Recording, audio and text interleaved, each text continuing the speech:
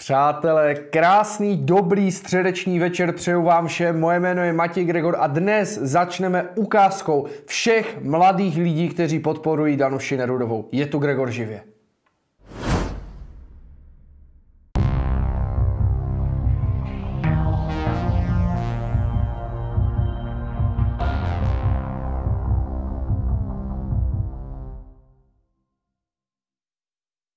Tak to bychom měli, nebyla to ukázka nikterak dlouhá, ale věřím, že minimálně eh, byla výřečná, minimálně řekla vše podstatné. Já jsem se hrozně těšil, až budu konečně vysílat a když říkám hrozně, tak to myslím opravdu vážně, protože chytl mě po posledním streamu zánět středního ucha, který jsem teda musel zrušit stream už minulou středu, neděli, nějak se mi to celé pomotalo, uh, už je to trošku lepší, pořád to sice není ono, ale už streamovat úplně v pohodě můžeme. V v neděli jste mě mohli vidět u Karol, paní Karol Stoněkové, u Karolíny bylo to úžasné, děkuju všem, vidím, že tam byl Mareček, Monika, eh, všichni naši věrní diváci, které tady máme, tak se na mě přišli podívat, já vám děkuju. Všiml jsem si, že někteří psali do chatu, Matěj, kdy bude stream a takhle.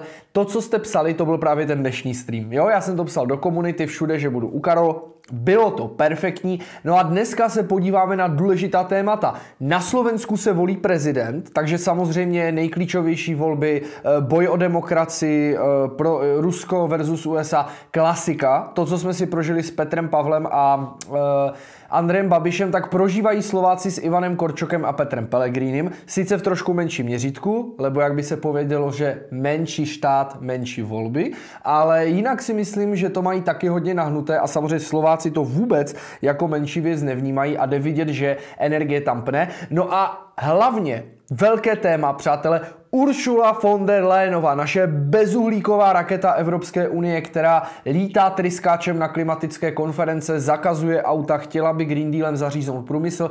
No co čert nechtěl, zjistilo se, že Ursula se tak trošku namočila do 500 miliardového podvodu, možná podvodu s Pfizerem a že lobovala za zájmy téhleté eh, velmi známé farmaceutické společnosti, která se proslavila tím, že si od ní Evropská unie koupila zhruba o několik miliard eh, dávek nebo o několik milionů dávek vakcín víc, než potřebovala.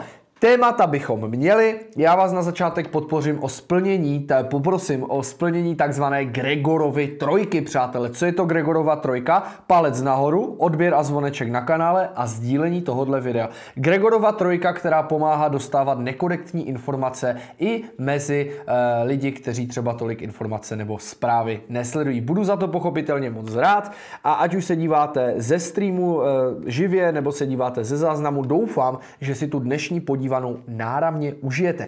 A já bych začal jednou skvělou věcí, přátelé, protože kanál Gregor Živě, celé to, co tady společně budujeme, naše aktivity, vy všichni jsme měli jednu velmi významnou stopu na Xaver Live a já poprosím režii, aby nám pustila krátký úryvek ze streamu Karol Stoněkové, kde už jsem já nebyl, ale vlastně jsme tam byli všichni. Pojďme se na to podívat. Ještě štěstí, že náš pan premiér je stále Яничка. Tak, eh, tohle, byla, tohle bylo úplně super, bylo to kratoučké, ale já jsem Karolíně dal tady tenhle ten dárek, je to fialová nula, já tady bohužel jsem si zapomněl nachystat, moc mě to mrzí, ale to se nedá nic dělat, takže jsme měli takovou výraznou stopu. Eh, ta Nutella, neboli ta mikina, kterou jste tam viděli, tak eh, ta se šíří jak lavina po republice, těch objednávek roste, samozřejmě nejsou to žádné tisíce nebo takhle, ale je super, že po celé republice je o to zájem a já moc doufám, že Eh, že si ji taky pořídíte, protože kromě toho, že tím podpoříte naši tvorbu, tak přátelé, tohle to je prostě geniální. Takže odkaz na zakoupení máme tady eh, tady uh, v popisku videa, máte ho tady v chatu, já vám to tam dávám, takže budu moc rád, když třeba po streamu až dokoukáte nebo klidně hned a můžete mě poslat pozadí, se na to můžete mrknout, do Prahu máme zdarma, já tady tím nechci ztrácet zbytečně moc času, ale mám velkou radost z toho, že se ta eh, mikina takhle povedla, samozřejmě to máme v černé i v bílé barvě. Tak a, než, a vejdeme na Slovensko a už tady máme přátelé dotazy. Uh, Josef Ondrasina tak se ptá, Pán Matej, myslíte, že je to slušné, keď pani Nerudova prirovnáva Fica k Hitlerovi? Myslíte, že českí politici majú právo sa starať o slovenskou politiku? Víte, uh, víte, jestli můžu Joško, protože mám kamaráda ze Slovenska tady z Vítkovic a říkám Joško, víte, ono je, to, ono je to, Josefe, takhle. Ono je to tak, že každý má právo se starat o jakoukoliv politiku. Každý. Jo, Čech se může starat o Slovenskou, Slovak o Českou. Ale pozor, přirovnávat jako politik, jako politik, abych přirovnával uh, premiéra, prezidenta, ministra, kterékoliv jiné země k Hitlerovi, ke Stalinovi, k jinému diktátorovi, tak tohle je něco, čemu se říká diplomatické fopa, pořádný trapas. Já, když jsem politik, tak musím jako uvážlivě řešit, jak se vyjadřuju um, k ostatním lidem, protože ona Danuše Nerudová je sice teď velice nabroušená, přirovnává Fica k Hitlerovi, dneska na Instagramu přirovnala Andreje Babiše k Hitlerovi, když ho nazvala vůdcem. A tady se dovolí říct jedna věc, Danuše Nerudová chce být eurokomisařka a Fiala je dost tupý na to, aby ji opravdu eurokomisařkou jmenoval, nebo ji do té funkce poslal do Evropské komise. A Ona potom nastane situace, kdy tahle ta, eh, jak říká jedna moje kamarádka Teta Blbuše, tak eh, pojede na nějaký summit a na tom summitu bude zvoleným premiérem kdo? No, Robert Fico. A takhle bude muset eh, tady teta Blbuše jako eurokomisařka si podávat ruku eh, s Robertem Ficem a bude samozřejmě s ním muset jednat, protože Slovensko je členským státem a Slovensko určitě eh, vždycky zůstane tou nejbližší zemí České republice. A tihleti politici si vůbec neuvědomují, jaký velký klín staví mezi Čechy a Slováky, jakým způsobem narušují ty postaletí po staletí budované sousedské vztahy. Něco takového tady v historii ještě nebylo. Já myslím, že je to hrozně špatně, když teda nepočítám onu osudovou druhou světovou válku, ale takovéhle úmyslné ničení vztahu jsme tady desítky let neměli a mě opravdu na tom mrzí to, že ono se to promítá do těch lidí. Ale Slovensko tady dneska řešit budeme. Já jsem Pepo moc rád, že jste to takhle naťoukl. Nebo Josefe teda, Pepo asi, asi ne tak já jsem moc rád, že jste to takhle naťukl, protože těm slovenským volbám se budeme věnovat eh, velmi efektivně. Já si totiž nedovedu představit tu situaci, která by vznikla, kdyby skutečně se stalo to, že by, eh, českým, že by česká vláda pokračovala v téhleté protislovenské politice, můžeme říct. A e, volby na Slovensku by vyhrál teda Peter Pellegrini, což je prozatím, nebo byl ještě nedávno favoritem jak prvního, tak druhého kola, byť v tom prvním nevyhrál, tak uh, v tu chvíli už tady opravdu nebude žádný společný jmenovatel a můžou si za to opravdu Češi, česká vláda, my, protože to, co my jsme si dovolili vypustit, a nemyslím jenom Danuši Nerudovou, ale myslím všechny lidi, které, kteří na tom pracovali. To byla Markéta Pekarová, to byl Petr Pavel svým způsobem, to byl Petr Fiala, to byla Danuše Nerudová, to byla celá řada politiků, kteří svoji energii věnovali tomu, aby pomluvali lidi a úplně zbytečně. Fico vyhrál volby regulérně, stejně jako je vyhrál regulérně Orbán. A tady je jedna důležitá věc. Fiala, Danuše nebo teta Blbuše, chceme-li, tak oni jsou malí lidi. Oni si nedokážou v Evropě vyjednat vůbec nic. Teta eh, Blbuše si nedokáže vyjednat nic, kromě nějakého prodávání titulu. Petr Fiala si nedokáže vyjednat nic, ten stojí vždycky někde vpravo. Petr Fiala spolehá na to, že když poleze do bruselského zadku dostatečně dlouho, tak z toho třeba něco kápne. No a potom když jste takhle malý politik, jakými bez pochyby Danuše Nerudová i Petr Fiala jsou, tak jediný, na koho si umíte vyskakovat, tak jsou vaše sousední země, které jsou menší než vy. Proč si tohle Fiala nedovolí k Němcům? A víte co, on by si to nedovolil ani k Polákům. On by si to nedovolil ani k Rakušanům. On si to dovolí pouze k těm Slovákům, protože tam má pocit, že za ním stojí ta garda českých médií, která ho v téhleté jako naprosto nesmyslné hloupé politice bude podporovat a tam se Fiala sítí silný na puku. Takže já bych jenom chtěl tady trošku říct, že aby si z toho naši bratři, naši bratia nic nedělali, protože většina Čechů proti Slovensku prostě vůbec nic nemá. My respektujeme to, že volby u vás vyhrál Robert Fico. Můžeme s tím souhlasit více nebo méně. Je to vámi zvolený premiér, on je zvolený poměrně jako velkým počtem hlasů, zatímco progresívné Slovensko tak se oproti eh, průzkumu propadlo o x procent, že jo, v těch volbách. A my to respektujeme, na těch vztazích se nic nemění a upřímně já osobně bych to viděl tak, že e, ta politika Slovenska je politika suverénní suverénního státu. A vy si můžete dělat, co chcete. E, někdo má možná pocit, že Robert Fico prý leze, leze do nějakých jako zbytečného pochlebování s Ruskem. Přátelé, já mám zase pocit, že naši čeští představitelé, a omluvte mi ten ostravský výraz, lezou do prdele Bruselu poslední dva roky. A neznám žádného Slováka, který by se kvůli tomu se mnou přestal bavit. Takže asi tohle bych chtěl říct k politice. E, narušuje to ty dobré vztahy mezi Čechy a Slováky. Je to hloupost. Politika by tohle vůbec dělat neměla. Politika nemá lidi rozdělovat, spojovat, politika má lidi zastupovat v tomhle dnešním případě a to prostě Češi strašně zkazili a bude na tom se muset pracovat. Uh, Obávám se trošku toho, že tyhle vztahy, co tady Petr Fiala narušil a narušili je naši eh, Petr, Pavel, Pekárova, jak jsem to vyjmenovával, bojím se, že tyhle vztahy se budou hodně dlouho politicky napravovat, protože eh, když se premiérem stane někdo jiný po volbách, Fiala odtáhne a budou tady noví představitele, pořád bude Petr Pavel prezident a bude prostě teď hodně let trvat, než se ta politická situace mezi Českem a Slovenskem zase vyrovná. A já bych byl hrozně rád, kdyby na Slovensku opravdu Eh, každý volil právě proto, aby, aby ty lidské vztahy v té společnosti, aby se na nich pracovalo. Protože co si budeme, ten prezident ani v české, ani ve slovenské ústavě těch pravomocí nemá moc, ale jestli má nějakou moc, tak to, že může spojovat lidi. A to by se by líbilo. Takže asi takhle. Tak. Já teda se podívám na další ukázku, protože u toho Slovenska ještě zůstaneme. Přátelé, já vás poprosím, uh, aby tohle video, protože si myslím, že se může dostat hodně Slováků, tak abyste to sdíleli určitě, protože ten algoritmus si to najde.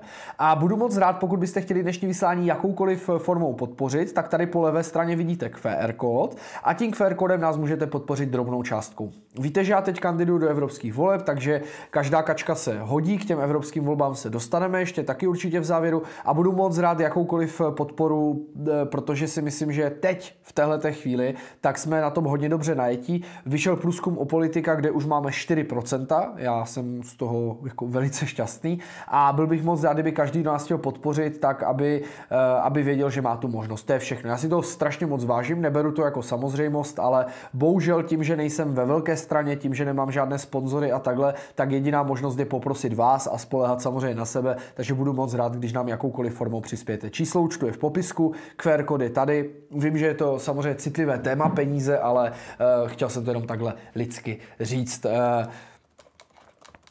tak, přátelé, my se přesuneme k dalším věcem. Kromě toho ještě samozřejmě je prostor na všechny vaše dotazy. Já vidím, že už tady nějaké jsou. Eh, Pavel píše, jako omlouvám se, ale Nerudová je učebnicový příklad hlouposti. To je samozřejmě pravda. Bohužel, jak říkám Daruše, Daruše je fakt eh, jako je blbá. Nebudeme si, nebudeme si tady nic nalhávat, přátelé. Danuše Nerudová je blbá. Je blbá, protože ona se snaží vystupovat jako hlas mladé generace a tím, že já se za mladou generaci jak považuji, tak eh, vím, že to není pravda a ten člověk neví o naší generaci vůbec nic a jestli naše generace něco nesnáší, tak je to prosím pěkně to, když někdo říká, že je naším hlasem. My jako eh, na tohle jsme alergiční, tohle zkoušel Ferry a bohužel se mu to podařilo, nakonec teda dopadl, jak dopadl v Dubnu bude mít odvolací soud mimochodem, ale chtěl jsem říct to, že Danuše není naším hlasem a poprosil bych všechny lidi, kteří jsou starší než my, všechny ty, kteří už mají ty zkušenosti, zažili aspoň minulé století, tak já vás chci poprosit, prosím, nedělejte si názor na mladou generaci eh, podle Danuše Nerudové. Není naším hlasem. Já jsem mladý člověk, jsem vysokoškolák a Danuše Nerudová za mě nemluví. Já nechci zákaz aut, nepodporuji migraci do Evropy, nepodporuji 50 pohlaví, pohlaví, cítím se jako muž, nejsem homofob, nepodporuju ani Rusko tím, že nepodporuju Danuši.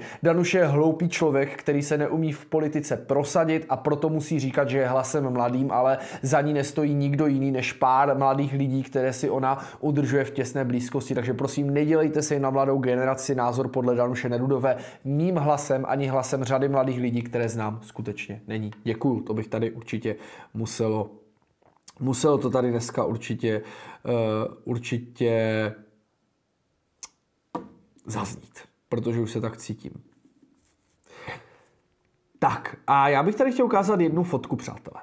Je to fotka Petra Pellegriniho. Já ji poprosím, aby nám tady přistála. A tohle je úplně obyčejná fotka. Poprosím tu druhou, ten tweet, pardon, já jsem se spletl.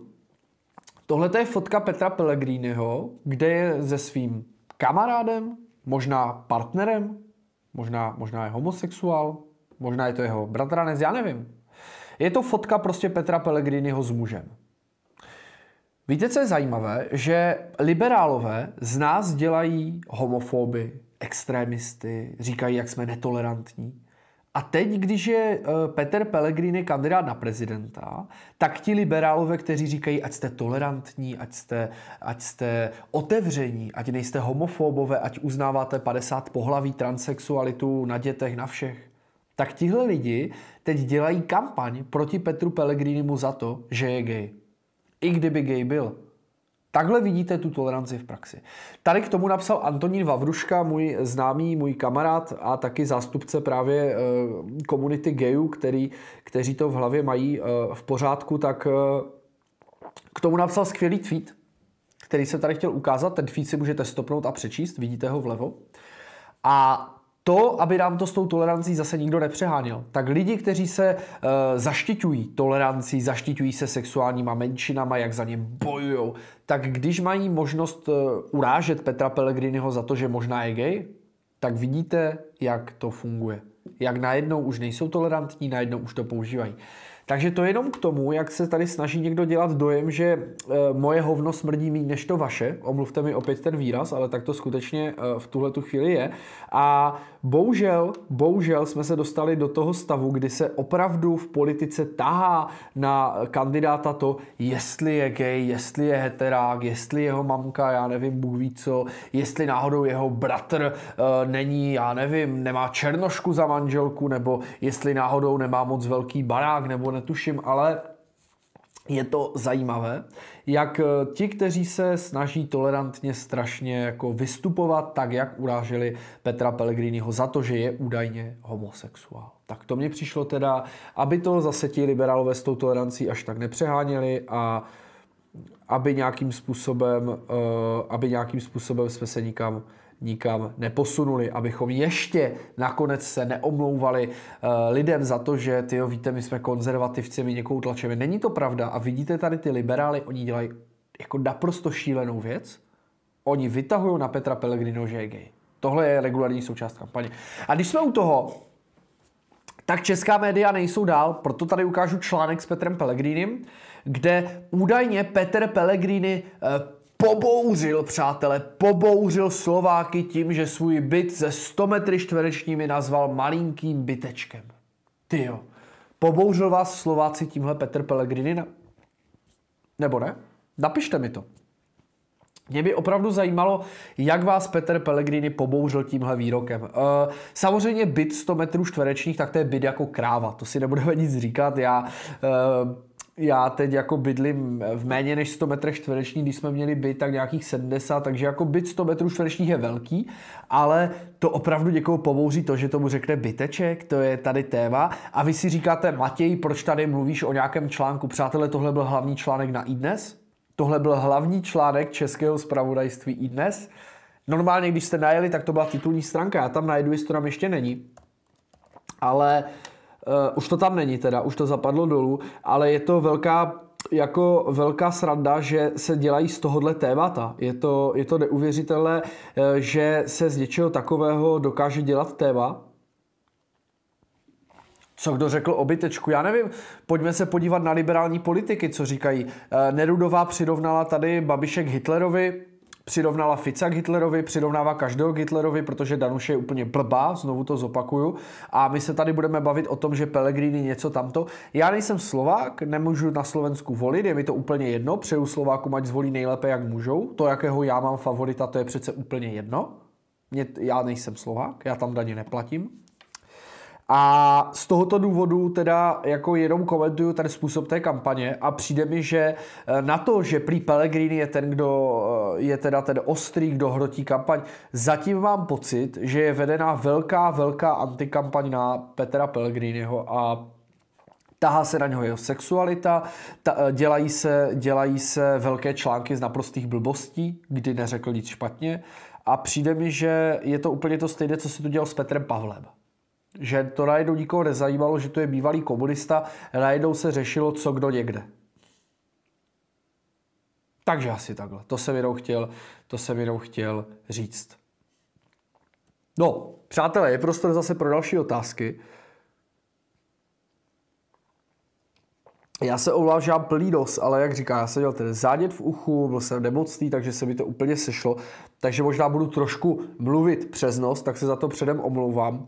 Není to schválně. Ale, ale je tady plno otázek. Tady Tady někdo píše, uh, opět Josef, vláda, která trvá na zbrojení, má problémy doma, tak, tak si jich maskuje. Naša vláda pomáhá ľudou, tak nemá problémy hovorit o měry. Uh, jak říká se, to Slováků netará, ale eh, je pravda, že to tady naprosto, eh, naprosto eh, šíleným způsobem, naprosto šíleným způsobem se to tady Fialovi rozsekává pod rukama. Já poprosím režii o nějaký kapesníček, protože, protože už je to takové nesnesitelné, ale já se do toho vůbec Poláků nestarám, ale jako co je komu do toho, aby přirovnával Fica k Hitlerovi, to opravdu nechápu. Tak.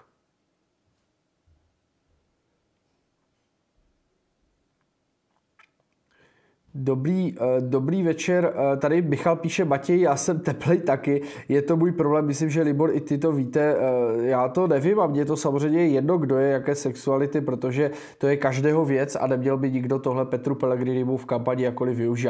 Eliška Přikrylová posílá 100 korun, Matěj drží vám palce, Eliško moc vám děkuji, vážím si vašeho příspěvku. Přátelé, co se týká to, nějakých médií, tak Dneska jsem byl na primě CNN, možná jste mě v 9.30 viděli. Jestli někdo viděl na primě, tak určitě mi napište a mutím prosím tě mikrák, jo? Já si jenom trošku dám do pořádku.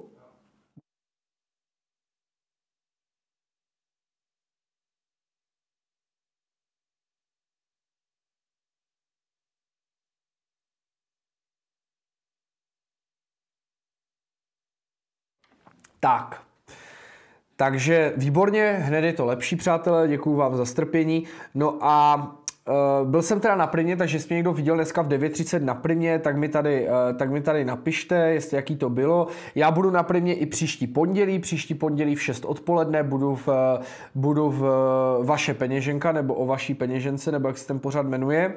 A těším se na to. Jsem rád, že nás jako svobodné začali zvat do médií, reagují na ty průzkumy, že máme 4%. Zatím to vypadá, že o tom fakt rozhodne pár tisíc hlasů, takže budu moc rád, když přátelé k těm volbám přijdete a když mě v těch volbách podpoříte. Děláme podle mě dobrou kampaň, jezdím mezi lidi. Na mém webu www.gregor2024.cz se můžete podívat, kam přijedu. Příští týden Dolní Benešov, Opava a Frýdek Místek. Potom pojedeme i do Valašského Meziříčí. V květnu objedeme Brno, Hradec Králové, Česká Lípa, Severní Čechy, takže moc se tam těším a Budou to bomby, přátelé. Teď už ani já nepochybuju o tom, že to s těma svobodnýma urveme, ale samozřejmě poslední slovo budete mít vy u volebních uren. Já taky tam určitě přijdu, takže budu taky volit, ale samozřejmě záleží na tom hlavně, jak budete volit vy a já budu moc rád, když nás podpoříte jako svobodné, když uděláte křížek u mého jména, protože já jsem až dvojka, takže mi pomozte vyskočit do Evropského parlamentu, ale stačí opravdu pár tisíc hlasů, takže budu moc rád, když uděláte křížek nebo kolečko u mého jména podle toho, co tam bude a pojďme k volbám, zbývá nějakých 60 dní, já se na tu kampaň hrozně těším a věřím, že to prostě společně naprosto precizně zvládneme. Takže moc se těším na to, až se s váma uvidím a na těch místech a tak dále a je to super. Takže děkuju vám za vaši podporu, jde to vidět. Jak jsem říkal, kdybyste chtěli podpořit kampaň, tady je QR kód, můžete nás podpořit jakoukoliv částkou. Za 100 korun vytiskneme letáky, za pětistovku uděláme nějakou, eh, nějakou brožurku větší, uděláme jich třeba 50, za tisícovku už můžeme zaplatit nějaké reklamy. Děkuju vám moc, vážím si toho a neberu tu vaši podporu jako samozřejmost. Takže se těším a bude to jízda, bude to jízda, co na to říct. Uh, Zuzan, Zuzana K. posílá 100 korun, píše posílám pozdrav z Hané, dneska je to parádní bez servítek. Zuzanko, moc vám děkuji za 100 korun. Já se bez těch servítek snažím být, sice YouTube nám tady zase bude psát nějaké komentáře o zásadách komunity, ale já na to kašlu, protože ty věci je třeba říkat na plnou pusu a jestli je něco třeba říct na plnou pusu, tak je to pluser Uršuly von der Leyenové, přátelé. Kauza Pfizergate, pojďme si ji ukázat. Uh, neuvěřitelná věc, která otřásá Evropskou komisí. Česká média mlčí. Česká média mlčí. Tady se řeší nějaká Babišova slepice. Předsedkyně Evropské komise, nejvlivnější politička Evropské unie, tak je vyšetřována proto, že si měla s ředitelem Pfizeru dopisovat a domlouvat zakázku za 500 miliard korun. Vakcíny, které se koupily a které se zlikvidovaly, protože v Evropské unii jich prostě nebylo tolik potřeba. Někdo si na tom ohromně nabalil peníze. Proč to není v médiích? Proč o tom nedělá nikdo mimořádnou schůzi? Proč se Fiala neptá na Evropské komisi, za co jsme i my, i Češi, kupovali a platili vakcíny, které se potom nespotřebovaly? Kdo o tom rozhodl a proč si předsedkyně von der Leyenová, předsedkyně Evropské komise, dopisovala s ředitelem Pfizeru? Nikdo to neřeší, přátelé. Tady se řeší neuvěřitelné mediální kraviny. Tady se řeší, že Babiš točí video ze slepicí, Nerudová plácne nějakou blbost, protože nic jiného plácat neumí. Tam se řeší, kdo se kde s kým vyfotil a tohle to tu neřešíme. Tohle jsou problémy, které se mají řešit v Evropském parlamentu. Ne žádné blbosti. Ne se pořád hádat, kdo je pro ruský a kdo je takový, kdo chce míra, kdo chce válku, kdo co. Přátelé, tohle jsou problémy, kdy Evropská unie, omluvte mi ten výraz, rozkrádá, rozšustrovává vaše peníze. My tady platíme jedny z nejvyšších daní v Evropě a předsedkyně Evropské komise si dopisuje s ředitelem Pfizeru. Udělají spolu kšeft za 500 miliard korun. To je tolik peněz, že by loňský Fialův rozpočet byl v přebytku. Tolik je to peněz, že i Fialův rozpočet by byl v přebytku. A my tady řešíme tady naprosto blbosti blbosti. To neuvěřitelné. Neuvěřitelná korupce v Evropském parlamentu. Pojďme si schrnout, co se v Evropském parlamentu za posledních pět let stalo. Místo předsedkyně Evropského parlamentu z Řecka byla zadržena. Zadržena policií za to, že korumpovala údajně zakázky ze Saudskou Arábí na skapalněný plyn. Normálně politička zadržena v klepetech. Konec. Vyšetřována dodnes. Druhá věc. Litevská, pardon, lotyšská europoslankyně se zjistilo, že je agentkou Ruské federace, že spolupracuje s ruskou spravodajskou službou. Europoslankyně, která seděla ve stejné frakci s českými piráty. A teď předsedkyně Evropské komise von der Leyenová tak měla údajně dopisovat si s ředitelem Pfizeru a hrozí, že korumpovala zakázku za 500 miliard korun. Za peníze nás všech v době největší ekonomické krize v pandemii, tak kšeftovala s vakcínama které se potom vylily do kanálu. Zlikvidovali se, protože prostě nebyly potřeba. Tohle jsou témata, které někdo musí v tom Evropském parlamentu otevřít. Omlouvám se, že tady trošku možná e, křičím, ale tohle je korupce největšího kalibru. Tady politik, když ukradne milion, nebo já nevím, David Rád měl kolik, 6 milionů v krabici, kauza jako Brno, tady se korumpuje 500 miliard a všichni mlčí. Napíšou o tom novinky, i dnes někde se prohodí články a nikde nic. Politici nemluví, nikoho to nezajímá a nikdo z těch eh, s prominutím lokajů v Evropském parlamentu nemá koule na to, aby tam o tom mluvil otevřeně. Poláci do toho buší. Maďarská vláda podala, eh, podala žalobu na von der Leyenovou. Jenom zase a opět zbytek té jako rádoby západní Evropy, která teda údajně kšeftuje s Ruskem možná mnohem více než Fico s Orbánem, tak tihleti lidi zase mlčí a nechávají tuhletu jako parodii na političku Uršulu von der Leyenovou, která byla tak neschopná ministrině, že vojáci v Německu museli jezdit s násadama od smetáků, protože jim nedorazily zbraně tak tahle ta ženská, která řídí peníze, eh, která řídí Evropskou komisi, tak korumpuje 500 miliard. Možná, údajně. A tady se mlčí. Tady se nic neříká. Já, kdybych byl v Evropském parlamentu a pokud tam budu, a já věřím, že díky vám tam budu, tak já do toho budu bušit od rána do večera. Od rána do večera se budu ptát, kde jsou ty peníze, jak probíhá vyšetřování. A všechny informace budu zveřejňovat v českých médiích. Cokoliv se dozvím, cokoliv se jako europoslanec dozví, to všechno řeknu lidem v České republice. Aby si každý mohl udělat obrázek o tom, jo, co se v Evropské komisi děje a za co se tam utrácí peníze. Když eh, český konzervativní politik, tady se eh, Tomiu Okamurovi se fotí barák, u Gregora se řeší, kolik peněz mu posílají příznivci po pětistovkách na účet, a Uršula von der, von der Triskáčová tak eh, rozkrádá 500 miliard na vakcínách a ticho. Takže jako neuvěřitelný, neuvěřitelný, co je schopná tady tahleta, uh, a teď nevím, jak to úplně jako pojmenovat, ale tohleto, jak, jak jsou schopni, jak jsou schopni oni zamlčovat informace, to je něco neuvěřitelného tohleto. Takže ano, zákaz aut na spalovací motory ne, přijetí eura ne, migrace ne, ale nezapomeňme na to, že kromě těchto těch témat, kdy Evropská unie rozkrádá vaši svobodu, tak kromě toho Evropská unie velmi tučně rozkrádá i vaše peníze. A na to já se tam zaměřím, protože jestli něčemu rozumím, protože jsem tady zastupitel, tak rozumím tomu, jaký má být pořádek ve financích. Já jsem předseda kontrolního výboru tady v Ostravě Vítkovicích. Já se vrtám v papírech, kontrolu smlouvy, procházím si věci, které jsou důležité a tohle to chci přenést do toho Evropského parlamentu. Tohle to musí skončit. Já odmítám, aby čeští lidi, včetně mě, aby všichni, kdo chodíme do práce, máme firmy, studujeme, podnikáme, abychom platili daně, za kterou potom Uršula kupuje vakcíny, které se vlijou do kanálu. Jako neuvěřitelný. Neuvěřitelný tohleto. A téhle Evropské unii, tohle má být naše záruka nějaké bezpečnosti. Jako kde jsme, Evropská unie je naprosto před rozpadem. A jestli budeme s Danuší, Danuše si může broukat písničky na, na, na, na, nic na tom nezmění. Jako naprosto eh, mě uráží, že v průzkumech, kdo je první v průzkumech? Hnutí ano. Hnutí ano, které poslalo do Evropské unie Věru Jourovou, Pavla Teličku, Ditu Charanzovou, naprosté eurohujery. Hned za ní, tak na druhém místě je ODSK a koalice spolu. S Niedermayerem a s Dechovským, s lidma, kteří by vás prodali za 30 stříbrných. Na třetím místě pak máme SPD, která má nějakou relevanci, ale samozřejmě samotná tam nic nezvládne. Je potřeba tam dávat mladou krev, je potřeba, aby těch těch stran, které tam budou bojovat proti EU, přibývalo. Kdo tam je pak? Danuše Nerudová, naprostá blbka, která chce být eurokomisařka, aby vám zakázala auta, aby přijala euro a aby podpořila migrační pakt. A aby zavírala takhle oči před, před rozkrádáním našich eh, peněz. No a potom tam máme koho? Potom už tam nemáme vůbec, ale vůbec nikoho. Piráty, pardon.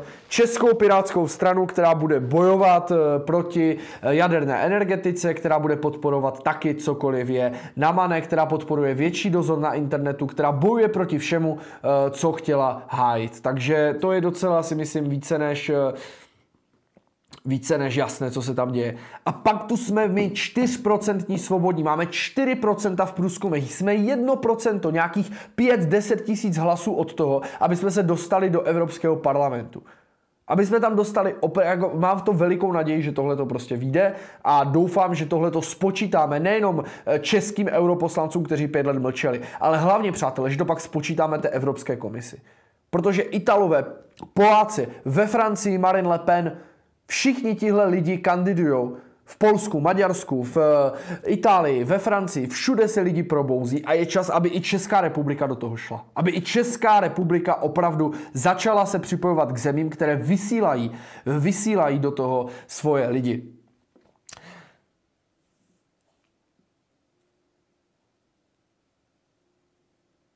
Tady ano, tady píše Růžena, lidi volí stále stejné, nechápu to, taky to nechápu. Lidi se pořád rozhodují podle nějakých průzkumů, ale já už jsem vysvětlil, jak ty průzkumy fungují. Klidně vám to osobně řeknu, nebo tomu dělám samostatný stream, jak tyhle, ty, jak tyhle ty jejich průzkumy, eh, průzkumy fungují. Takže asi, asi takhle tak.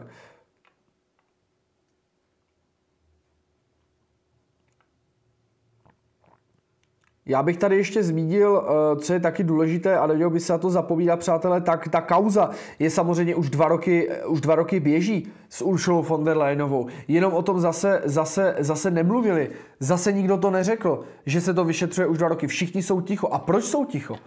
Protože chcou nějaké křeslo v Evropské komisi, v Evropském parlamentu. No to je jasné, že ta Nerudová nebude o von der Leyenové mluvit, protože to bude její chlebodárkyně dost možná.